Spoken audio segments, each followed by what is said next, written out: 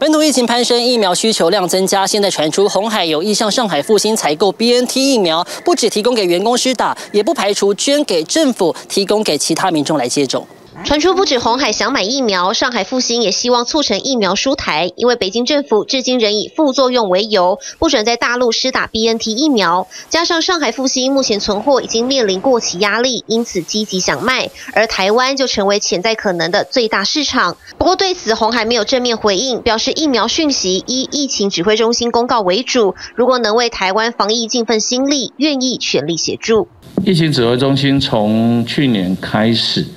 啊，各个药厂也好，或是 COVAX 平台上面，啊，都我们都跟这些平台的业者或是疫苗的厂商，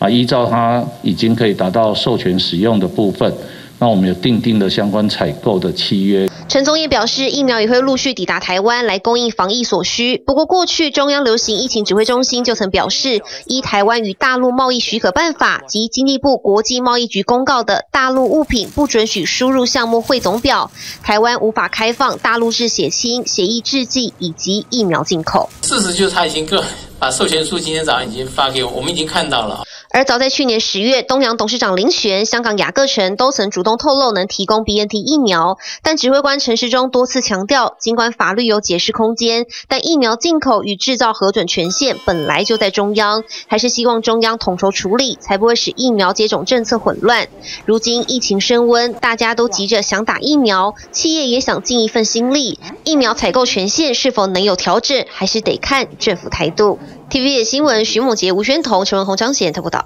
请订阅、按赞、分享 TVBS News 频道，要开启小铃铛哦。还有还有，下载 TVBS 新闻手机 App，随时掌握国内外大事。